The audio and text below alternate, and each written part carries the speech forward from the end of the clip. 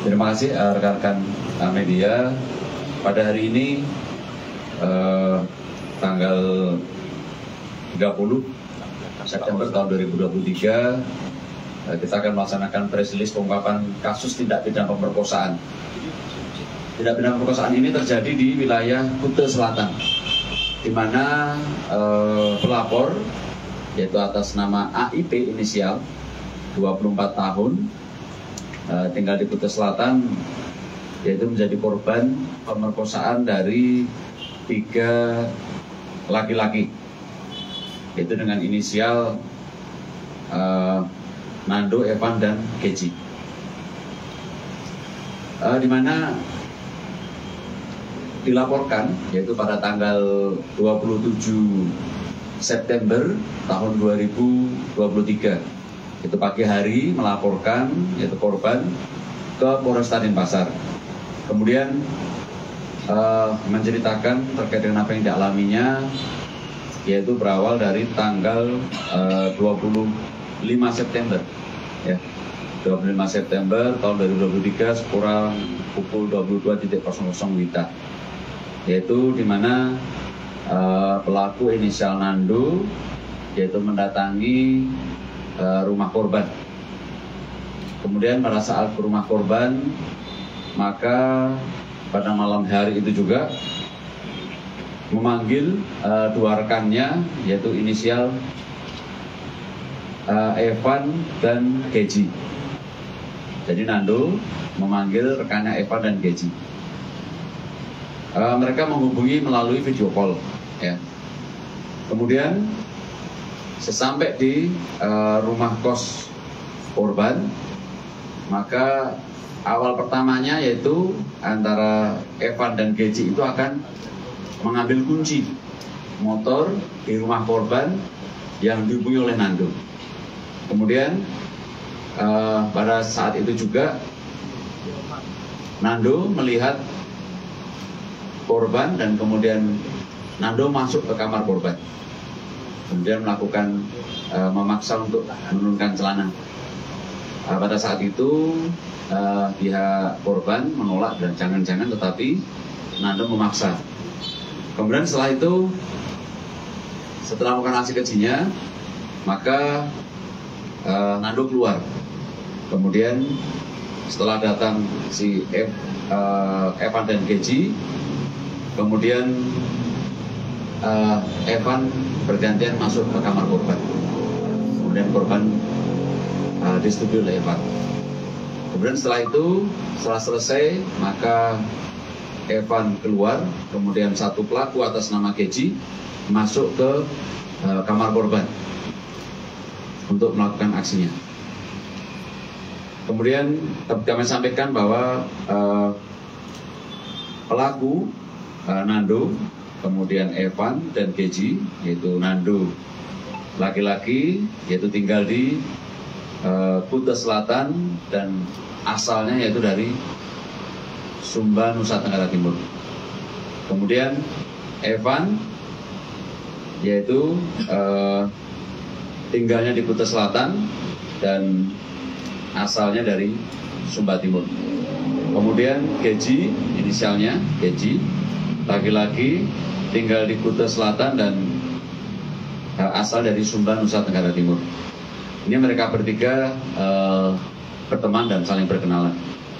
Kemudian modusnya yaitu uh, pelaku memperkosa karena ada kesempatan dan melihat korban bernafsu mereka tiga orang ini.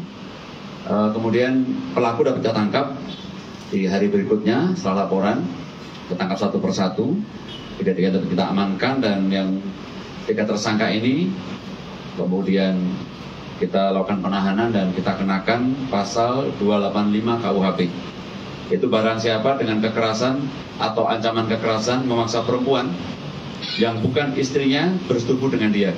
Dihukum karena memperkosa dengan hukuman penjara selama-lamanya 12 tahun. Itu yang kita kenakan uh, oleh para ketiga tersangka dimaksud dan mereka melakukan ini baru satu kali. Mungkin ada, ada pertanyaan? Dan itu profesi atau enggak? Apa dia ini pelajar apa bagaimana sih pelaku? Uh, mereka swasta semuanya, ya. Mereka swasta. Emang datang ke Bali untuk bekerja apa gimana? Uh, mereka untuk kerja. Jadi kerjanya di gardener, ya kebun, ya. Gardener semuanya. Ada unsur pengancaman nggak? Ada saya sampaikan tadi. Jadi saya sampaikan tadi. Jadi pada saat mengancam, pada saat mengancam untuk turunkan uh, celanamu, tapi tidak mau, bilang jangan-jangan, terus memaksa. Ya karena karena ketakutannya perempuan, kemudian dipaksa untuk turunkan celananya. Mungkin gitu. Korban dari juga ada? Tiga-tiga. Uh, dalam kondisinya uh, untuk dari hasil keterangan itu tidak dalam keadaan mabuk. Namun kita lakukan akan lakukan pemeriksaan setelah itu ya. Nah, kita masih menunggu pemeriksaan. Dan Nando, Nando sama korban ini ada hubungan khusus atau cuma berteman aja? Kalau dengan korban selama pemeriksaan kita itu mereka antara Nando dan uh, korban saling kenal. Ya. Kenal gitu aja. Nanti kita akan ini lagi akan perdalam lagi. Dan ini kejadiannya siang apa malam apa memang kondisi? Kejadiannya itu malam tanggal 25 yaitu kurang lebih pukul antara 22 sampai dengan 20 kurang lebih pukul 11 malam 23.00 kita. Kalau korban sendiri ya, tinggal sendiri. Uh, korban tinggal sendiri yaitu di uh, rumah kosnya di daerah Gang Gundul di Kuta Selatan. Ya. Korban itu dari Sumba juga ada? Ya. Korbannya dari Sumba juga apa dari daerah lain? Uh, untuk korbannya sama-sama dari Sumba juga. Ya. Pak, berapa lama menolak dan eh, apakah dari korban ada upaya perlawanan saat Kalau korban ada perlawanan, dari korban ada perlawanan, dia mengatakan jangan, ya karena ketakutan sampai yang ke tiga korban itu mereka eh, dari tiga pelaku ini korban juga melakukan perlawanan. tidak tidak. Eh, jadi saya dapat sampaikan bahwa si korban itu pada saat mau dipaksa itu eh, pelaku atas nama Evan itu digigit sebanyak dua kali. Di bagian? Di, di bagian apa itu saya? Bahu sebelah kiri. Ya Korban itu satu perusahaan kerjanya dengan para pelaku. Ah, nanti kita akan berdalam lagi ya ya Ya, eh, Sampai yang ngejar-ngejar kemarin. Apakah mau izin kami Ya. eh, tadi pertama mengenai pemeriksaan ini ada ada saksi lain yang diperiksa? Saksi yang yang eh, mungkin dari pihak ada satu. Eh, saksi kita sudah periksa empat orang berarti ya termasuk saksi pelapor Nah, pelapor dan ini ya semua ada lima orang kita periksa ya. Empat saksi dan satu pelapor. Pak, untuk para pelaku sudah ada yang keluarga punya istri dan Eh, belum ada semuanya. Belum ada yang berkeluarga nanti kita perdalam lagi ya terkait dengan eh, kenalnya kapan dan sebagainya. Hasil hasil hasil visumnya ada divisum. kita masih nunggu. Sudah ada hasil visum. Eh, nanti kita tunggu. Kita perkembangan ya. Maksimal hari Senin lah. Nanti Pak Satreskrim yang akan memberikan ini. Ya. Kalau kondisi korban. Untuk sekarang masih menutup diri, eh, masih trauma dan terima kasih. Jadi kita dari psikologi kita memberikan pendampingan psikologi terhadap korban ya. Tetap lah ya. Terima kasih Pak. Tetap kita lakukan pendampingan supaya eh, korban bisa merasa lebih tenang, melupakan apa yang terjadi dan sebagainya seperti itu ya. Mungkin itu rekan-rekan sekalian.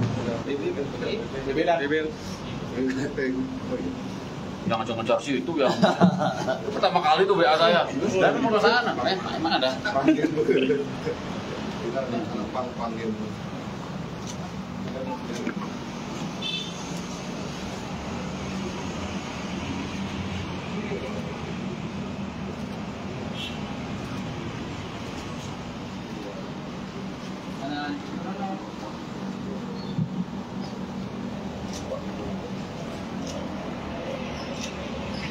Ngapain sih? Yang WA saya. Untuk WA. Habis itu laporan. Udah mau di sini atau mau tak kebukin? Hubungin dulu nanti. Boleh kan? Kawal ya, kawal yang bagus. Apa adanya ada kanan kiri. Di atas aja ya. Nando angkat tangan. Jangan ya, tanya, tanya. Evan mana?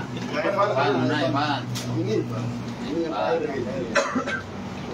Eh mana siapa? Cok dulu nanya lah. Bibit.